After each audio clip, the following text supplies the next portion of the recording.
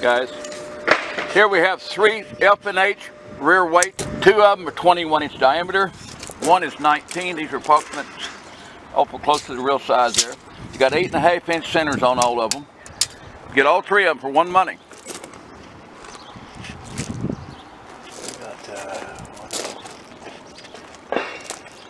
Start her up.